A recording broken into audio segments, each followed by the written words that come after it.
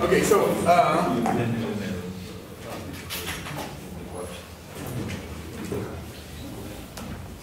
yeah, so let's just review a teeny bit more the, uh, this thing about algebraic cycles. So, uh, maybe, so I'm sorry, maybe this wasn't completely clear. So, some aspects that some people ask a question. Uh, uh, so, let me just clarify a little bit better, I hope. So, here, y is a subvariety of, I mean, this is essentially an injective map. I mean, if this is not an injective map, then the thing is going to be zero, what I said. So we can think of y as a smaller dimensional subvariety of x, uh, included into x. The only thing is I, I wrote it this way just because the image, so we're really, in, the, the algebraic cycle is really the image of y inside x. So that's a, sub, it's a subset of x, I mean, that gives you a cycle inside x. So it's a 2m dimensional homology class in x. The image could be a singular variety. Okay? If the image is a singular variety, instead of looking at the image variety itself, it's easier to, to resolve the singularities by Gromov theorem. So that's why I presented this as taking a map. Uh, so the, the, the, algebraic cycle is really the, depends on the image of y inside x. Um, and so let me also say that, uh, so the, there's stuff called Grothendieck standard conjecture.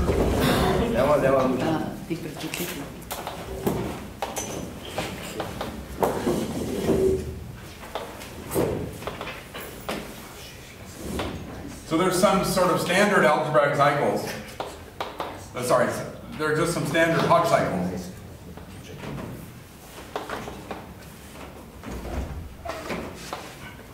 And we still don't know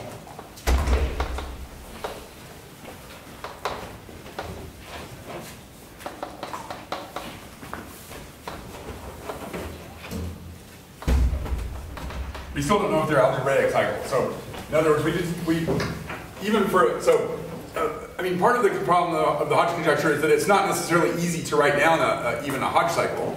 It's not necessarily easy to say what the space of Hodge cycles of a given variety is and stuff like that.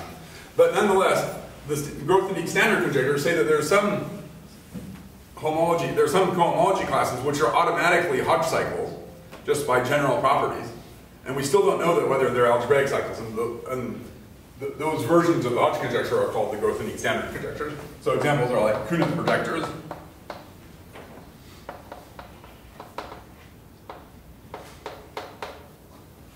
And this operator lambda that we saw before, called Lefschetz.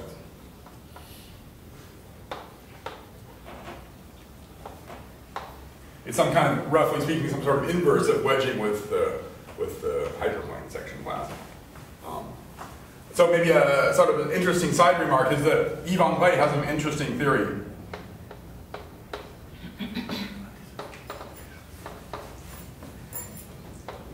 What he calls motivated cycles.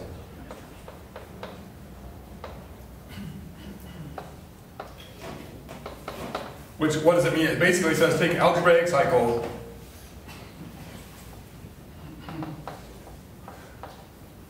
and add lambda. So lambda is a, if, if you write it down in the right way, lambda is a is a Hodge cycle. I mean, you know, lambda is a morphism, but uh, I mean, I wanted to say this also. Uh,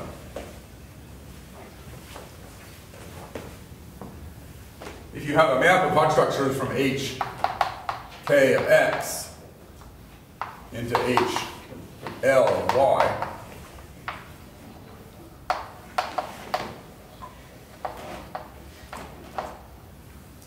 then it corresponds to a Hodge class. In H, well, let's say that's already do this calculation, something other. Sasha will tell me.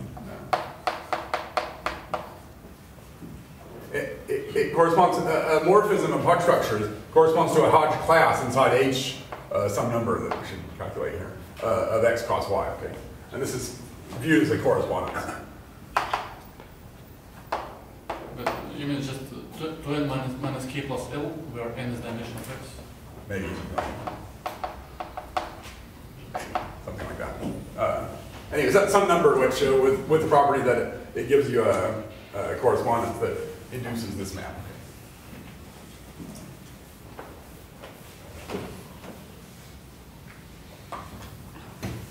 And the condition of being a morphism of Hodge structures, namely that this sends the PQ spaces into the PQ spaces with maybe some shift and so on.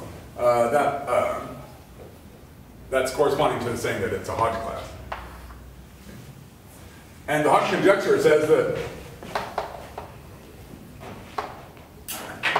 says that all these things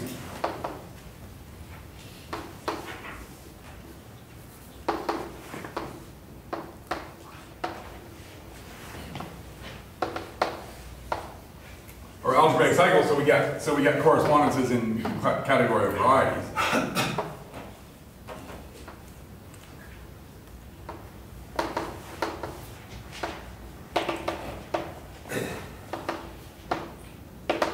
So if, if we knew this truth, if we knew this, then we would get there would be a, a really good theory of motives. Okay.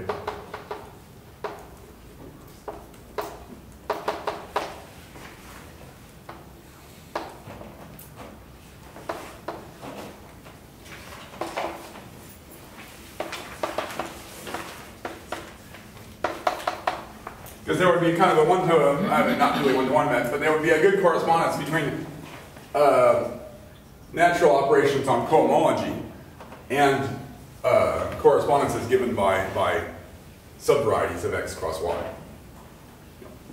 The Q vector space generated by subvarieties of x cross y. Uh, so, well, we, so we don't know it. That's this whole, the whole industry of trying to make a theory of motives is designed to sort of get around the problem that we don't know, the Hodge conjecture. And so what can we say about, what, how kind, what kind of theory of motives, so what kind of theory of sort of this type of natural correspondence can we create uh, even without knowing the Hodge conjecture? Of course, that's very complicated. Uh, but anyway, so the, you know, the lambda is a map from hk of x into hk minus 2 of x. So it, that's what, in this sense here, that I mean that lambda would be a Hodge, should be a Hodge cycle. Uh, so Yves André has a theory where he says, okay, let's just say, okay, too bad we don't know that lambda is an algebraic cycle, but it's supposed to be an algebraic cycle. So why don't we just add it into our collection of, of sort of good cycles, you might say. So we say algebraic cycles plus anything that has to do with lambda. And then actually that generates a very nice theory, in fact, that has a lot of interesting good properties. Uh, you can read about this in his paper, on IHS paper. I think in, re in recent times, maybe it's, it's coming a little bit more into, into, into fashion. For a long time, this, this was an, a really old paper. For a long time, nobody really talked too much about that, I think. Uh, I think that was not necessarily reasonable. So I think it's possible that we, there might be sort of an intermediate way of getting some kind of theory of motives where you sort of use Yves André's, uh, and you sort of just add. And so, for example, I think, uh, one thing, for example, I think if you add lambda, then you get the Künneth projectors also, if I'm not mistaken. Um, okay, anyway, so that's, that's kind of the whole theory of algebraic cycle. Um,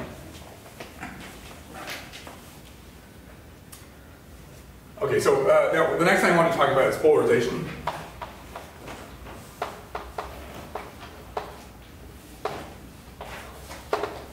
So this is an important property of Hodge structures that come from varieties. So Hodge structures that come from varieties.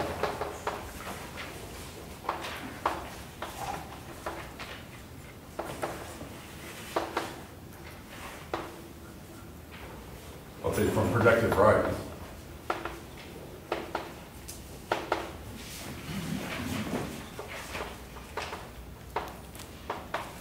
Or what you might say Q polarized.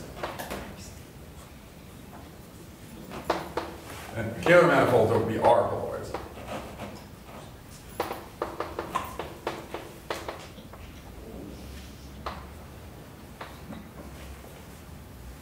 So I'd like to explain this. This is this is so this is an important phenomenon. So the so where where does this come from? This comes from what's called the Hodge-Riemann bilinear relations.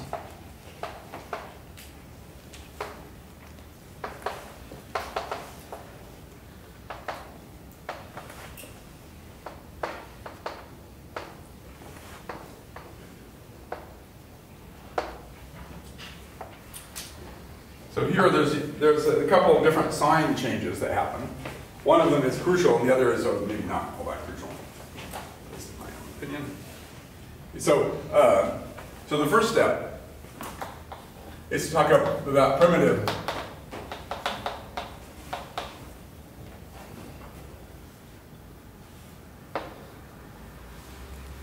cohomology classes. So in this case, so when we have a, a projective variety, so if x is a projective,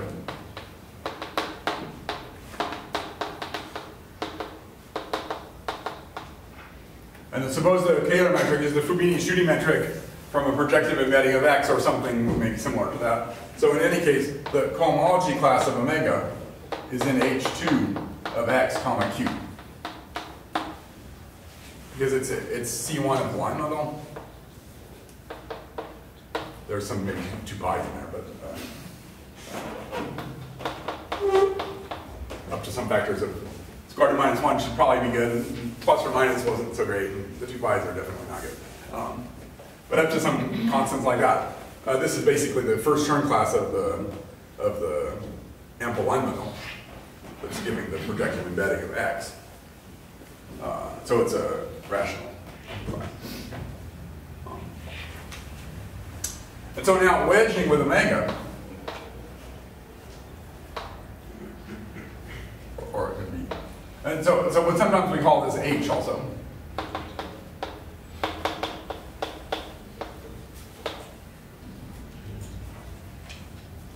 Is also the, this is the cohomology class. So- as we were saying before, the, the Poincare dual of the homology, I mean, the, the, the cohomology class corresponding to the homology class of a hyperplane section. So a hyperplane section, if x has dimension n, then the h has dimension n minus one.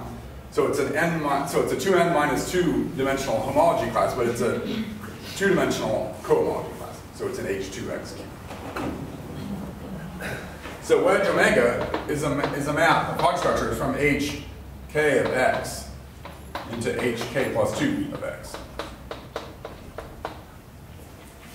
And then this, then this lambda, the adjoint,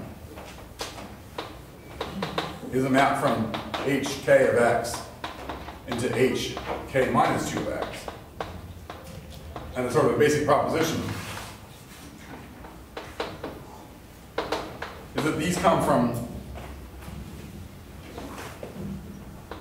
a representation of Lie algebra uh, SL2 on H star of X. Where the central element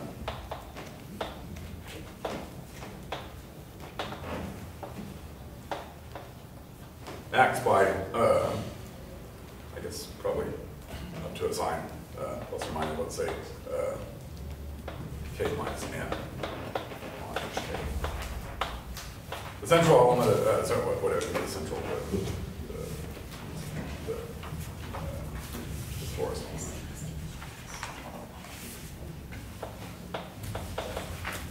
The diagonal element of SL2 acts by plus or minus k minus n on hk. okay? So as a result of this, plus the structure theory for representations of SL2, we have the following structure theory for the cohomology.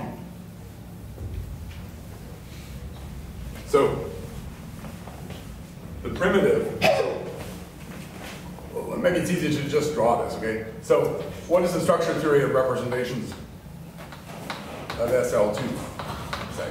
It says that a representation of SL2 uh, is organized into a direct sum of irreducible representations. And the irreducible representations look something like this.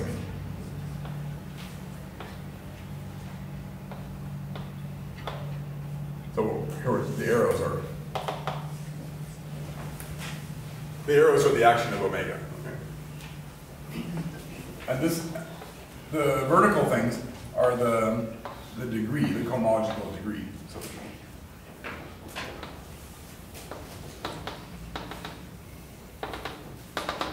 And the middle, the middle piece is n minus k equals zero, so it's k equals n. So this is the middle.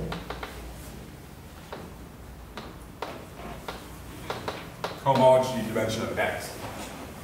So in more specific, more precise terms, uh, if we define the primitive cohomology class, pk of x, to be. So what is the primitive cohomology class? So, so there's an action of SL2 on the cohomology. So the this coordinate is the cohomological degree. And this is wedging with omega. So it increases the cohomological degree by 2. And the, the irreducible pieces are these chains where you go from there up to there. They're sort of symmetrically organized around the middle. Okay. So uh, the primitive stuff is we would just like to look at all this stuff. Okay. So the primitive stuff is only going to be up to dimension k, uh, up to dimension n. And it's all sort of the starts of the chains. So how do we isolate what's the starting point of a chain? Well, in degree k, if we apply n minus k times omega, that goes over to the end of the chain. And if we do it once more, it's zero. So this is the kernel. So a primitive, a primitive class is one where when you apply omega the, the good number of times, and then one more, you get zero. Okay. Uh, is that right? So this is the kernel of uh, wedge omega, so this is probably n minus k plus 1, if I'm not mistaken. Uh, mapping from h k of x into h uh, k plus 2 times n minus k.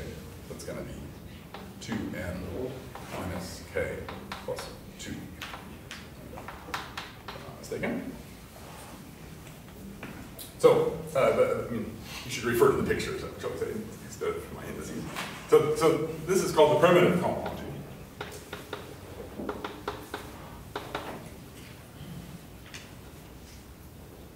And since it's the kernel of a map, which is really, uh, which is respects the Hodge structure, right? Omega, I mean, uh, sorry, I should, should have said this, a crucial point here, which is that omega is actually, I said it's in H2, but in, in fact, the class of omega is in H11.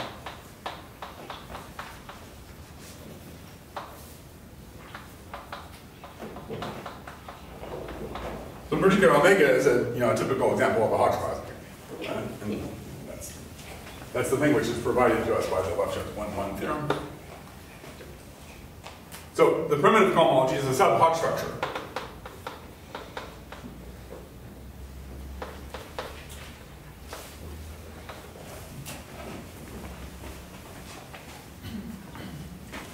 Then the theorem is the following. The theorem is that the intersection pairing gives a polarization of this sub-Hodge structure. Well, define what the polarization means. Let's just say that in words.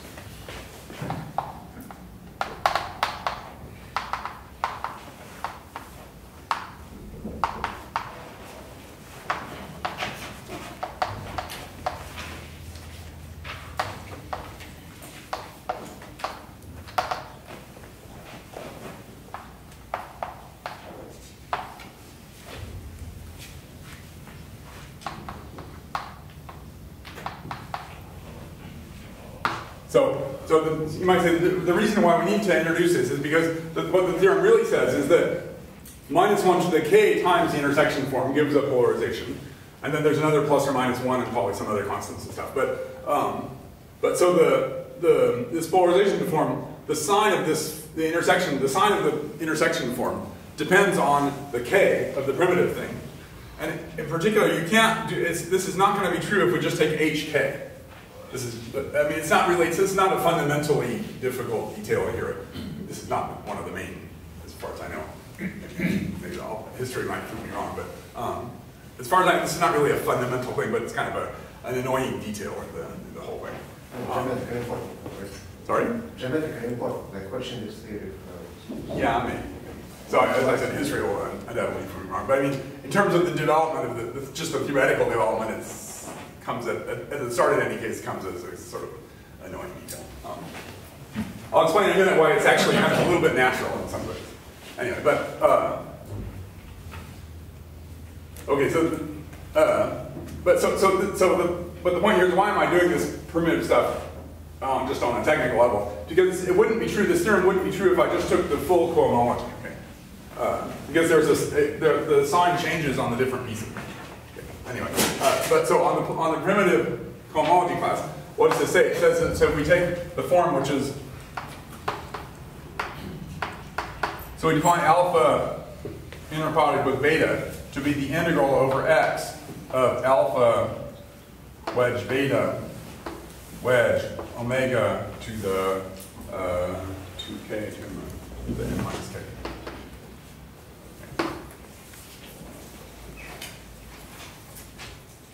So this is a real, so this is a, in fact, this is a cube.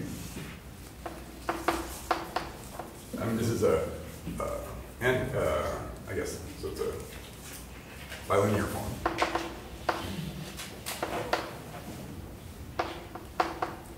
With Q coefficients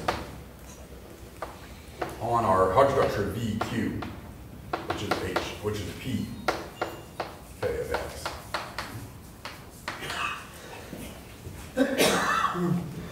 It has Q coefficients because remember we're assuming here that we're on an algebraic, we're on a projective variety, so the hyperplane class has Q coefficients.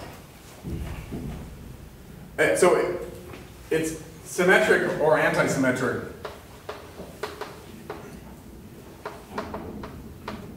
Depending on the parity of K.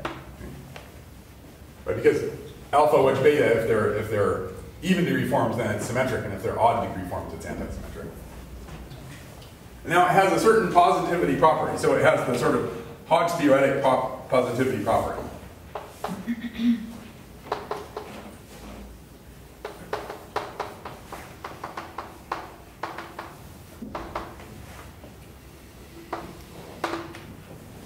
And so we should do this in a sort of Hermitian sense.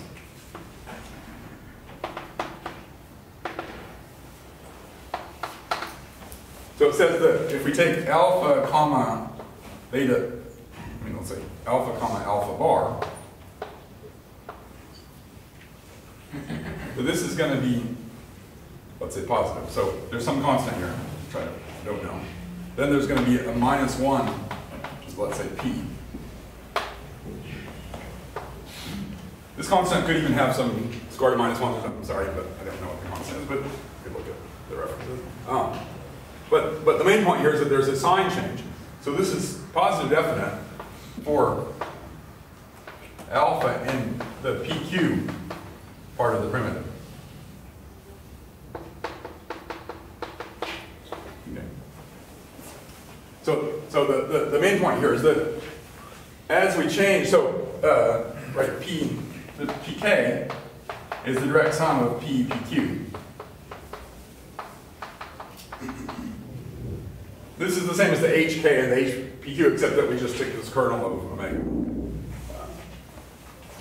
So as we change the, the, the right, so, so typically like P2 might be P1, P2, 0 plus P1, 1 plus P0, 2, okay, for example. Okay, so there's a whole string of Hodge subspaces. And the point is that the sign of this form, so you turn this, take this real value form and turn it into a Hermitian form. We need to make it into a Hermitian form because these are complex subspaces, right? Uh, if you think a little bit about the, the DZs and the DZ bars, if we tried to take alpha which alpha, then that probably wouldn't have the right number of DZs and DZ bars. If we take alpha which alpha bar, then alpha has PQ, and alpha bar has QP. So we get P plus Q comma P plus Q, and then the omega n minus k, that's adds exactly the good number. Because if we want to integrate something over x, remember, if we integrate over x, it should be a top degree form. Remember that a top degree form has to have exactly the same number of dz's as dz bars, right? Because uh, there's just no other possibility. You know, if, if x has dimension n, there's going to be n complex coordinates. So there's dz1 up to dzn, so z1 up to zn. So the, the only possibility for a top degree form is dz1 bar up to dzn bar. Sorry, dz1 up to dzn times dz1 bar up to dzn bar. So it has to be n dz's and n dz bars. When you integrate something like a top degree form of x, the total number of the total Hodge type has to be n n. Otherwise it's zero.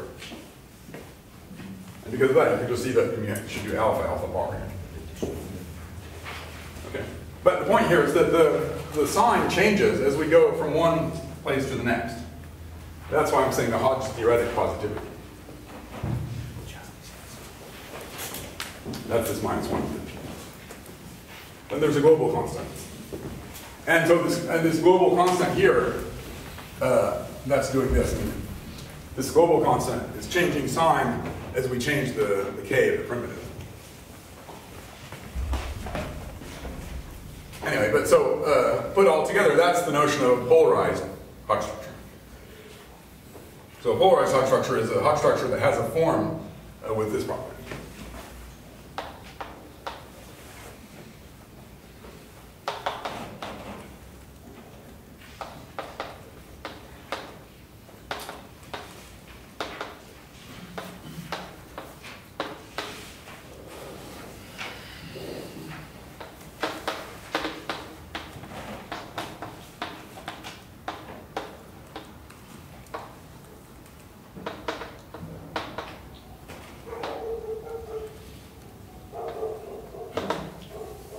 So when I say having these properties, it means it's either symmetric or anti-symmetric depending on the parity of K, and it has this positivity property on the Hodge subspaces. Well, so uh, an important example, which, I mean, which doesn't happen very often, but it's important to keep in mind, is the case of a unitary. So it's uh, a unitary example.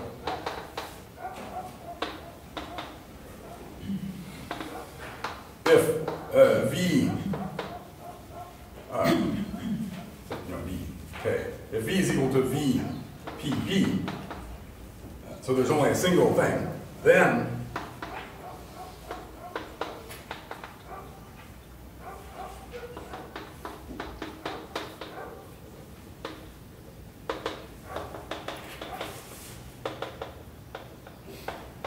Okay. If V is, e- has just a single Hodge subspace, then up to this question of which sign it is, but it's a plus or minus, this is a unitary, so it's a positive definite form. But in general, it's not a unitary form.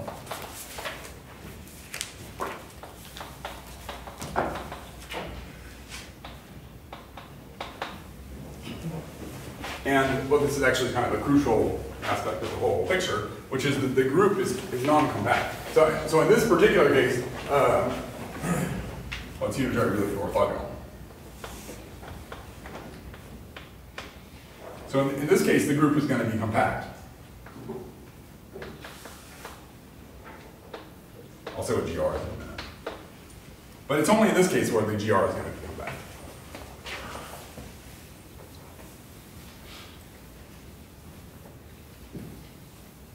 So then, now if X is an algebraic variety, so if X is a projective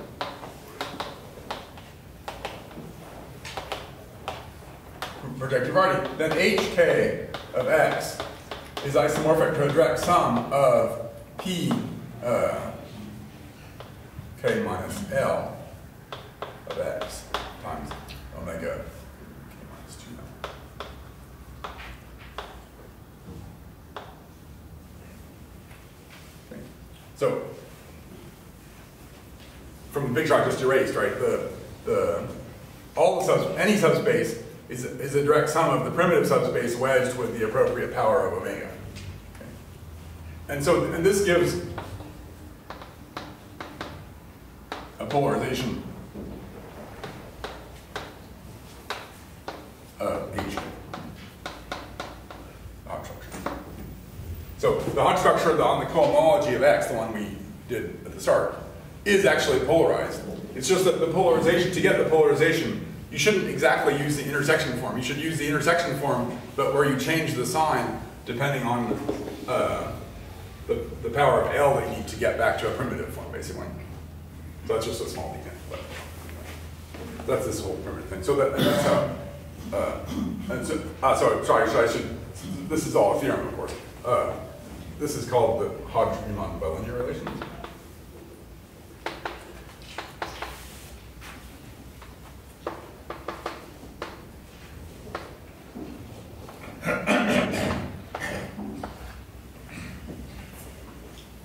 So actually, it's not such a bad exercise to do it, for example, for surfaces. Um, so for surfaces, the there's in H2 of a surface, there's two pieces. There's the there's the omega in, in H2, which is an H11. Then there's the rest of the Hodge structure. The rest of the Hodge structure is primitive.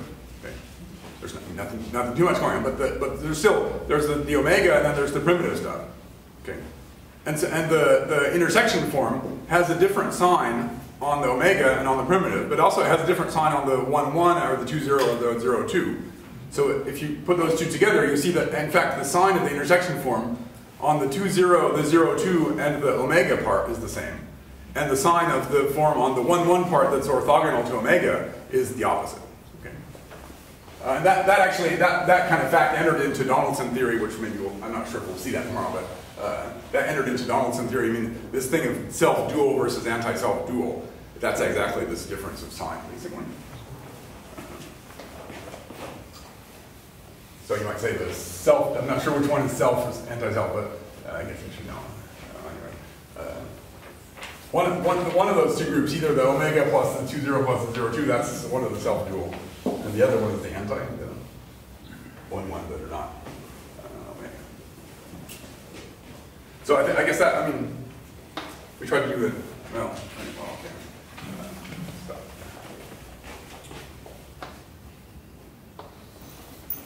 Okay, so, uh, so the conclusion here is that, the, that if we have a variation of Hodge structure that comes from a family of varieties,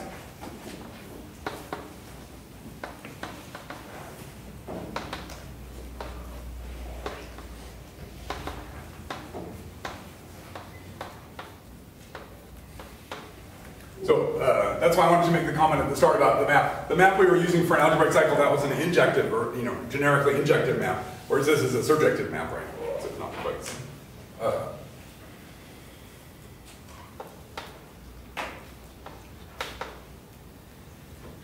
So, if we, so going back to what we said this morning, if you take a smooth proper map of, of algebraic projective varieties, in this case, then if we define the VQ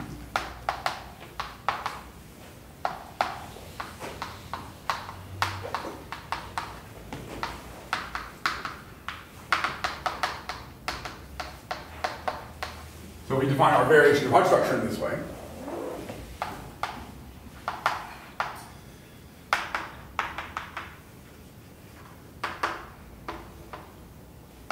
Then it's polarized. It has a polarization.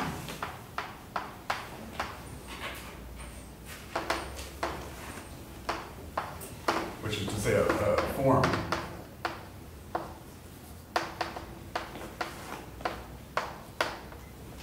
satisfying those properties.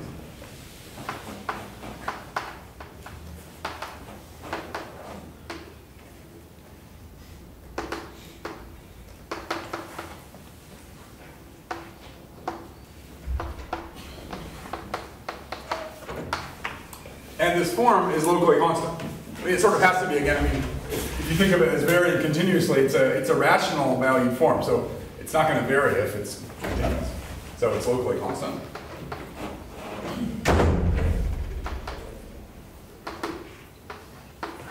And in particular, the monodromy, the action of the monodromy transformation. So the monodromy representation.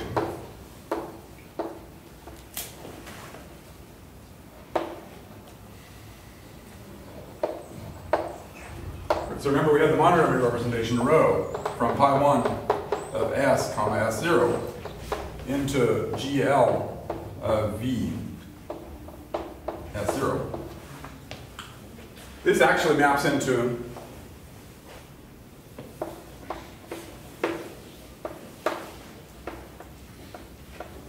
this factors through a group which we'll call a G Q. So GQ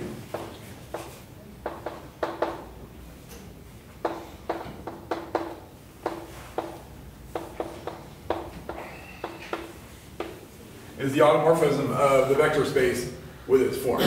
So this is either, so this is going to be, uh, let's say,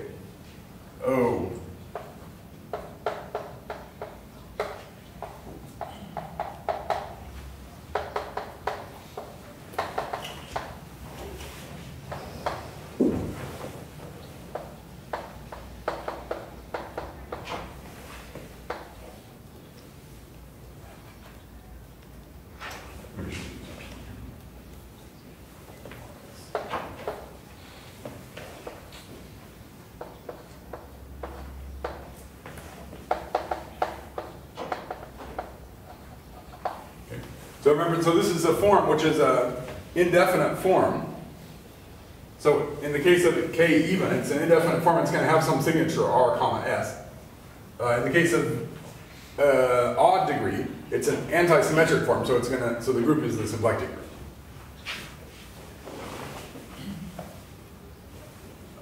Uh, too much mistake in there.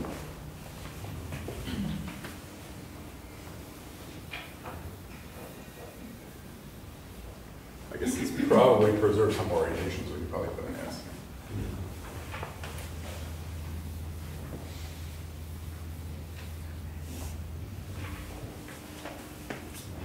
So that's kind of the polarization property. But so the, the, all the stuff, you know, all, all the theorems about variation of Hodge structure, they all use the polarization property, so uh, pretty much.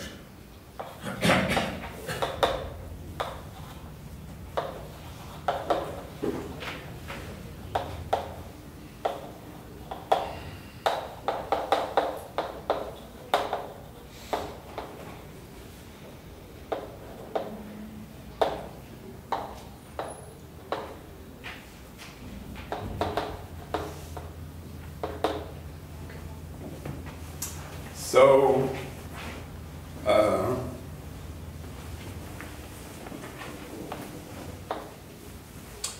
just, let me just mention some, uh, we probably won't have really enough time to get to these too much, but, um, so a typical setup, uh, well, so, yeah, so the first one is the invariant cycle.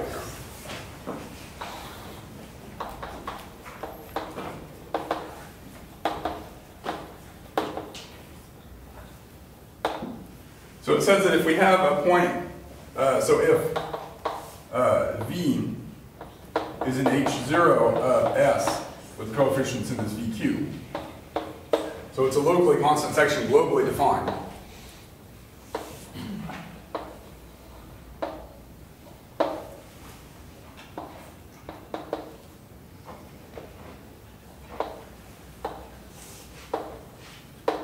Then if if V is in V, P, Q, S zero at some at one point, then V is in VS, you know, VS zero.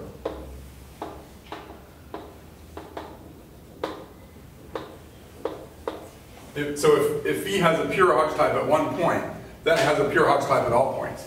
So in particular, if we have an algebraic cycle at one point, so if we have a, uh, uh, global global section. So global.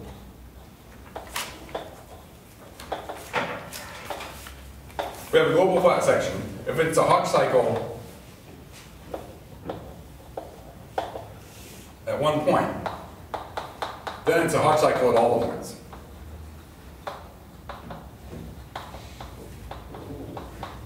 And so this is one of the things which Yves André's theorem theory allows you to prove, which is that uh, so this is, of course, one of the consequences of the Hodge conjecture, which, you know, if you could prove this, it would be already a great theorem. Um, so if you have a if you have a cycle which is an algebraic cycle at one point, then it has to be a Hodge cycle. Then this statement says it's a Hodge cycle at all the other points.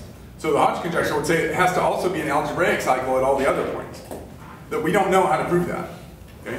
And in some sense, it's it's kind of just a deformational question. So, but the problem is it's a deformational question, but for something where the, an algebraic cycle, it could be a sum of you know positive and negative coefficients times uh, subvariety. But so, by roughly speaking, it means that your subvariety at one point, you should be able to deform it to a subvariety at all the other points. Okay? And we don't know how to do that. There's an obstruction called the semi-regularity map, for example. Not necessarily, right? It will be some difference of variety which moves. the Yeah, that's, that's what I'm saying. I mean, it's That's so. yeah. Yeah, yeah. So being an algebraic cycle means it's a q coefficient sum of, of Yeah. subvarieties, but we don't know what type of subvariety we should do a plus and minus, basically. Um, that's, that's kind of that's one of the big problems. So, but what Yves André's theory says, it tells you that in fact, if you know it's a motivated cycle, so if you know, for example, it's an algebraic cycle at one point, you can actually prove that it's a motivated cycle in the sense of Ivan Gray at all the other points. Uh, that's one nice property. Uh, so now let me say here, so this, so it's not, you can do, you could do this yourself actually, uh, in the case where S is compact. But now in the case where S is non-compact, then that's where a whole another subject of Hodge theory comes in. Uh, in the case of where the base is not compact, and that's actually quite typical. So, in all the examples I said so far, for example, uh, typically S is not compact. So in other words, S will be a, a quasi-projective variety.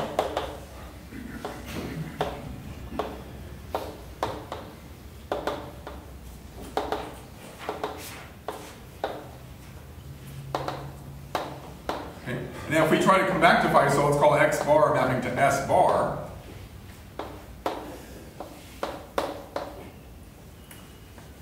I think we saw that in, in this in Victor's talk uh, quite, quite several times uh, yesterday. So typically if we try to compactify the base, then the new fibers here are singular. Okay? So that's called a degenerating, typically called a degeneration. Okay?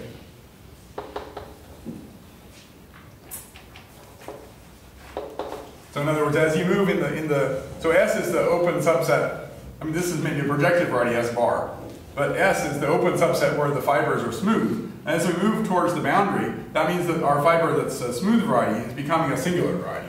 Okay? So, so uh, smooth varieties, the smooth XSs degenerate to singular varieties.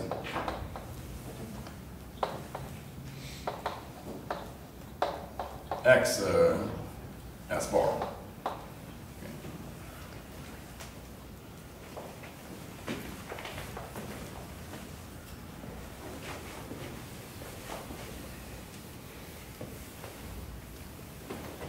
Now, there's several different things that are going on in this case. Um, one of them is that if you have a singular variety, then the cohomology of a singular variety has what's called a mixed Hodge structure.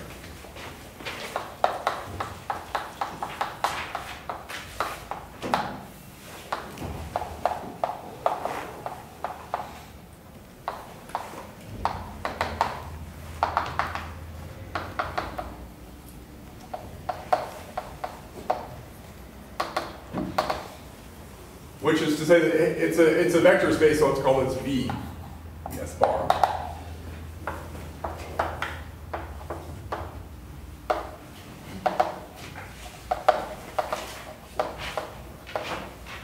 Has something called the weight filtration, let's call it W.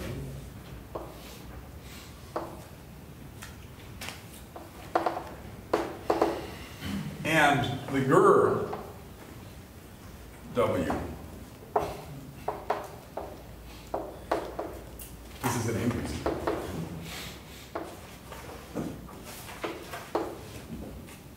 Let's say R.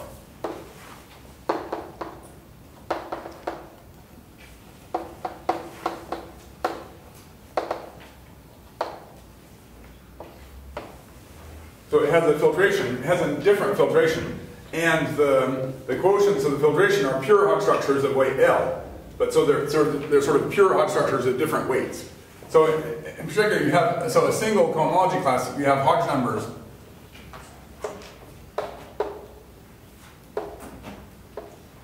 HP2 for pretty much all.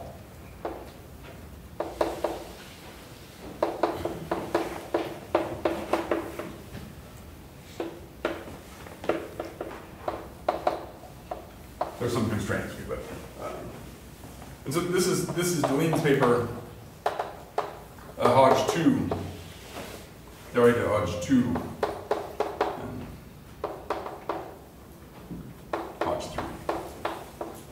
Hod- Theory to Hodge 2 was for open varieties, for quasi-projective varieties, and theory to Hodge 3 was for singular varieties. So kind of like in a really brief nutshell, uh, if you take your singular variety and resolve singularities, then you can turn it into a simplicial, you make a sort of simplicial uh, smooth variety. And from that simplicial variety, you sort of make a double complex and take the cohomology of each level. When you combine the different levels together, uh, you get this thing where you, the, the, the same one single cohomology group,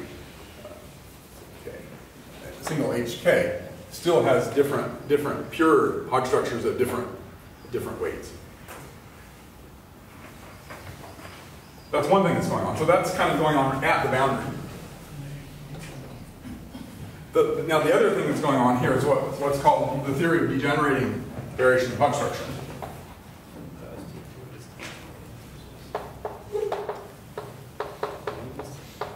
So it's called, so the main theorems are called the nilpotent.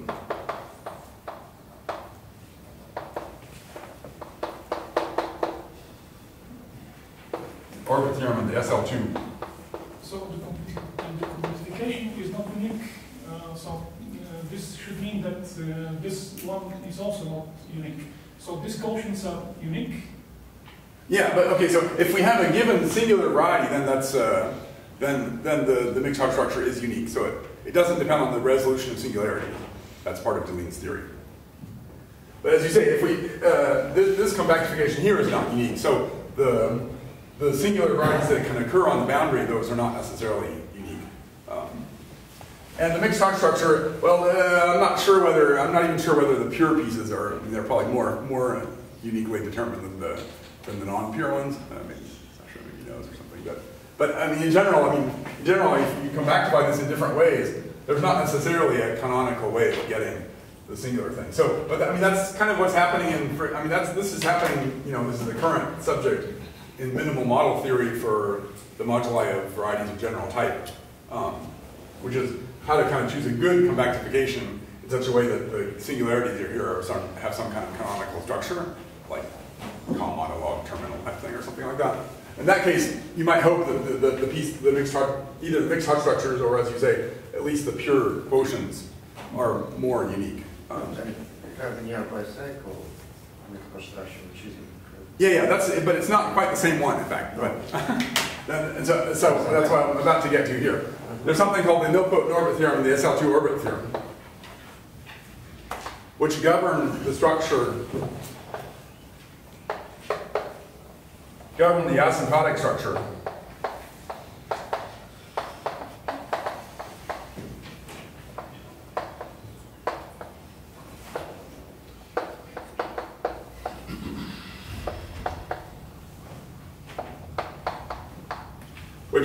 to, to put it in a word, govern the asymptotic information of our variation of Hodge structure here. So we're going to have our variation of Hodge structure here, then, but it's, this is some kind of, uh, some kind of data coming from elliptic equations and so on, which is going to have some kind of asymptotic behavior as we go towards the point here. And there's some kind of um, part of the structure here is that there's, there's a mixed Hodge structure that shows up here. I'm not, I'm not, I'm, I mean, this is very, this is complicated, we don't have probably enough time to discuss more details about this. Undoubtedly, but, um, you know, you can look this up on the web. I don't know how that will be, but. uh, So, uh, this is, this, these theories are by Griffiths and Schmid.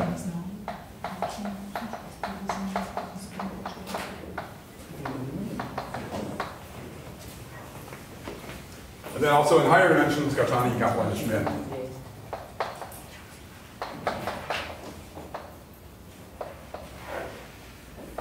Kashiwara Kawai.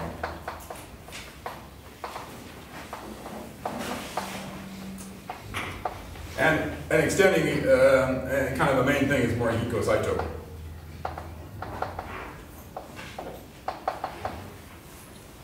Well, the kind of the, the biggest sort of structure you can get, which is called mixed Hodge module. Uh, so you, you can kind of extend the, you can extend the variation of Hodge structure to what's called the mixed Hodge module on S bar. But in any case, there's going to be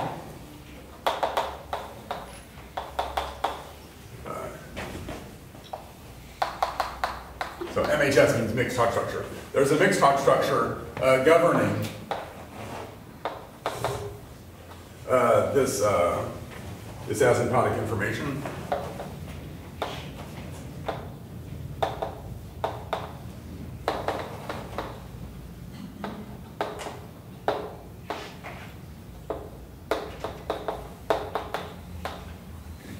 And kind of roughly speaking, there's something called the Clemens-Schmid exact sequence.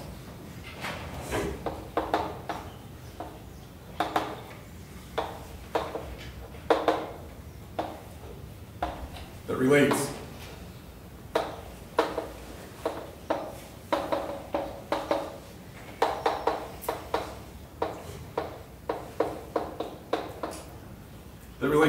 structure with this one.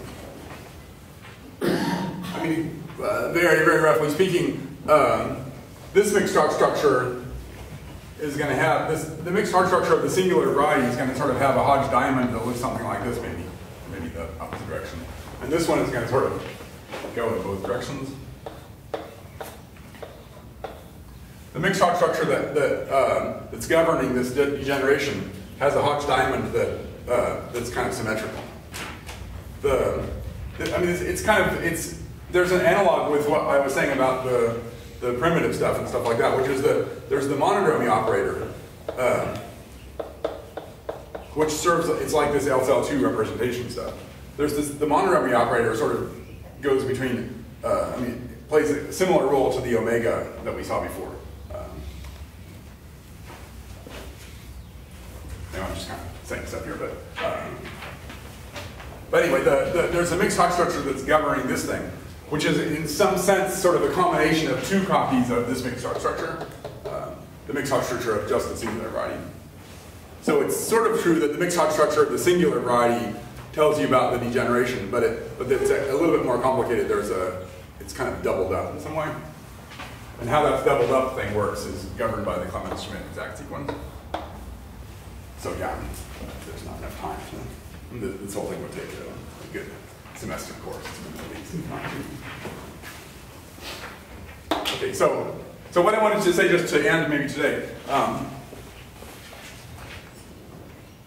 So we'll, so we'll be discussing a little bit more about this. Uh, uh, oh, sorry, sorry. I need to say one more thing, which is that um, it's this this theory here. This allows you, for example, to prove the. I mean, let's say this. Okay.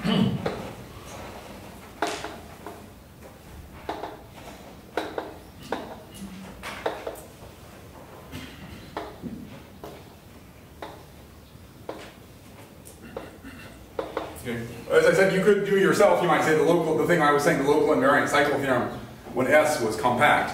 If S is not compact, then you need the full power of this asymptotic information in order to prove this local invariant cycle theorem that I said before about the, the Hodge types thing staying the same in a, for a flat section. And there's maybe another thing which you can prove, uh, maybe I'll not write it on the board, but there's something, there's, there's a theorem of Deligne, Cattani, Kaplan, which tells you that the locus of points where you have a Hodge class is actually an algebraic subvariety. So that's something which, that's a consequence that would be a consequence of the Hodge conjecture. That the locus of points where you have an extra, you might say, Hodge class in the cohomology. It's called the Noether-Lefschetz locus. Um, if, if, the, if the Hodge conjecture were true, that would automatically be an algebraic subvariety of the base. Or let's say some countable union of algebraic subvarieties of the base. And Deligne, Cattani, Kaplan.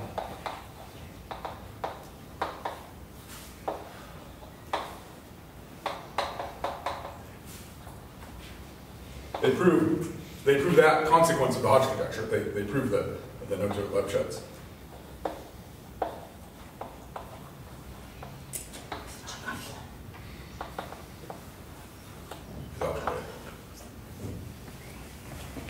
Okay, so uh, let me just finish. So I'd just like to mention something called the intermediate Jacobian. Because that's also something which, uh, if you're looking at modern, uh, modern work, you know, in mirror symmetry and rationality questions and stuff like that, it comes up quite often.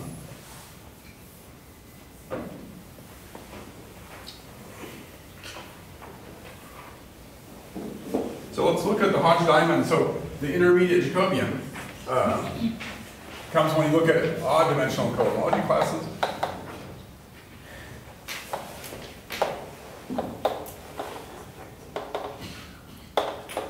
Okay, so let's just do an example. Uh, this is the this is the classical example of Clemens and Griffiths.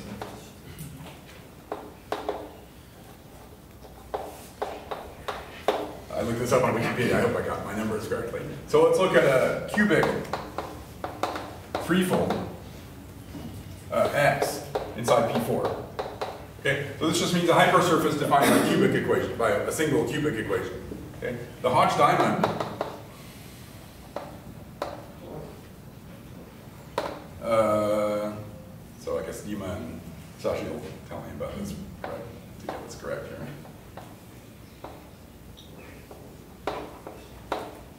I'm not sure about this one. Is that a one?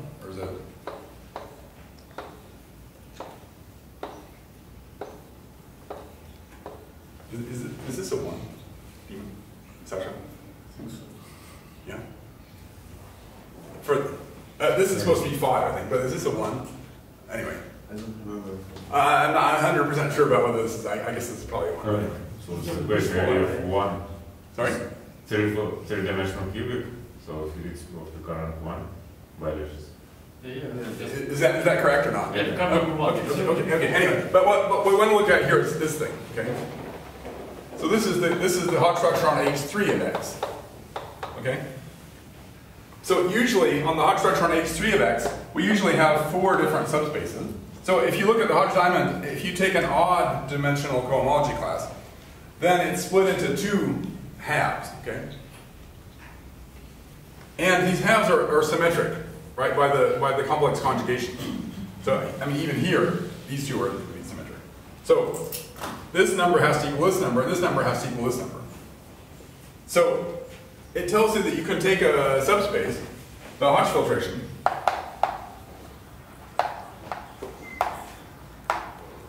so let's just say, you know, it's okay, if we take H3 or H2K, 1, any odd number, the Hodge filtration, uh, the, the good level of Hodge filtration is going to be a subspace F, uh, so I guess it'll be F colon 2 or something like that.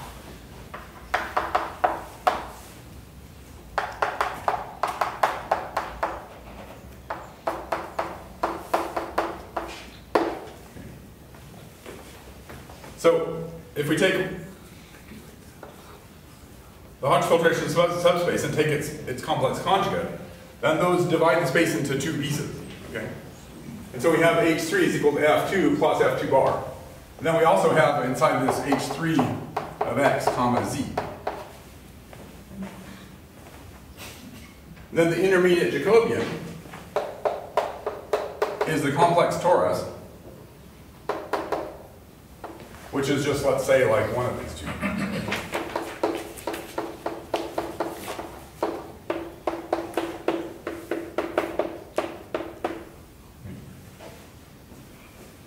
So, so, so this is going to be like, so in our example here, this is going to be a 10-dimensional uh, free abelian group. This is going to be a 5-dimensional. So this is going to be a, a c to the 5 divided by a z to the 10. Okay? You guys see how that works? Sasha sees how that works, but does everybody else see how that works? The, if we take half of the stuff, this half is going to be half the complex dimension, right? But the complex dimension of this is equal to the real dimension of the real cohomology class, or it's the rank of the rational cohomology, or the integer. So if, if, we, if we just take the full cohomology, we'll get like c to the n divided by z to the n, and that's not really uh, all that interesting as a complex torus. But if we can take half of it, then that's going to be c to the something or other modulo z to the 2 times that. Okay? And this is a complex torus.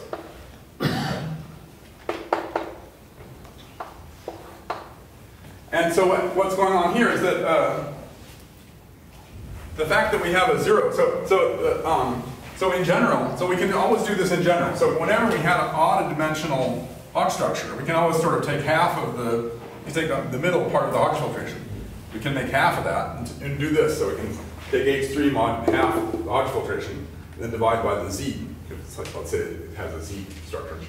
And, and we'll get a complex torus. So generally speaking,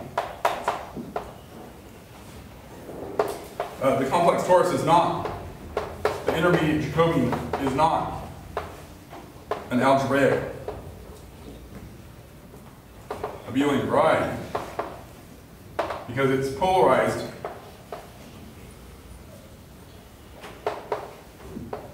by a, let's say, a Q cohomology class, but it's not definite. So in, uh, I guess if you look at the theoretic theta functions, you need some kind of a, a positive definiteness in order to define the theta functions and have the series converge and everything. Uh, that's because of this change of sign. So that's, that's, that would, that would be the case if this was non-zero. So if this term was non-zero, then, then our polarization form is gonna have two different signs. The sign of this piece and the sign of this piece. Because of that minus one to the p. Okay? But in this case, so you can see if, if there's only one non-zero Hodge number, then now the polarization does have a sign, because in this case, this is zero. So the, the, the piece that has a, an opposite sign is not there. So in this case, so, uh, so in our case, H30 equals zero, so the polarization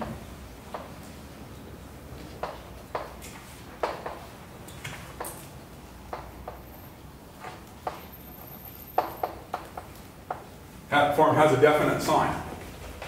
So I'm kind of doing, I'm sort of treating two, two things at once here. So if you did this to the degree one piece, then of course that would always be true. And that's how you get an abelian variety, which is the Albanese variety or the Jacobian variety of, the, of X. If we do this to a degree one piece, then we are, our polarization form always has a definite sign. That makes this into an algebraic abelian variety. Okay. So we get an abelian variety. So we get a projective abelian.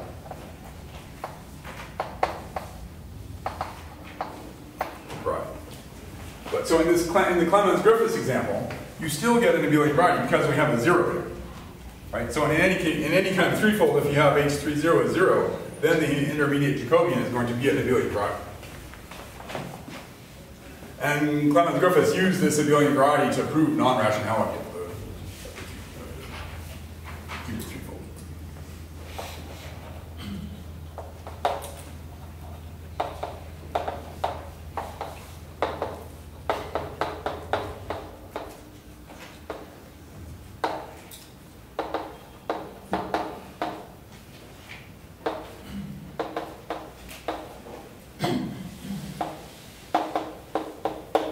And so that's, a, and so I guess that's kind of a, a currently interesting theme. So for example, if you go to the cubic fourfold, then in the cubic fourfold, do I have time to do this?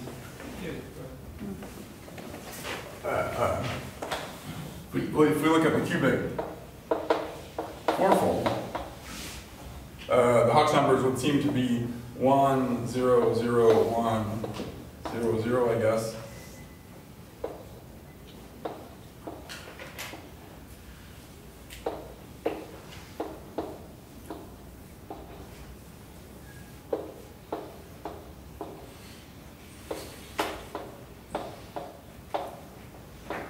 something like that. And this part looks almost like a K3 surface.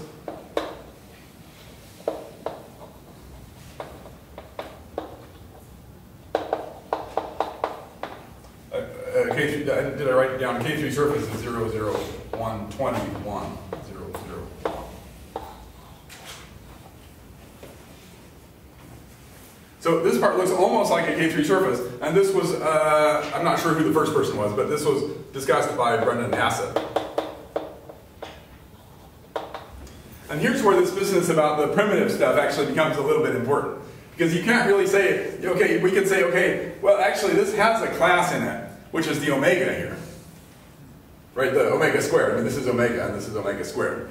Um, so we could just divide by omega, and then we would have 20, 1, 20, 20, and so on. That would be a K3 surface. But the sign of the polarization would be wrong. Because if we just divide by the omega, then inside here we would have the same 120 uh, with a 20 in the middle. But we wouldn't have a piece, we would no longer have a piece that has the sign, which is the opposite sign from the, polar, from the primitive form. So, because in, in the K3 surface, the omega piece here, the polarization form has the opposite sign. So in some sense, this look, would look a lot like a K3 surface, but not really a K3 surface. If, if I'm understanding correctly, I just quickly look at, look at that. If I understand correctly, Hassett's point of view here is that suppose we have another algebraic cycle. So we have two algebraic cycles, omega plus another one. Then if we divide by both of those, then that can look like a K3 surface divided by omega, basically.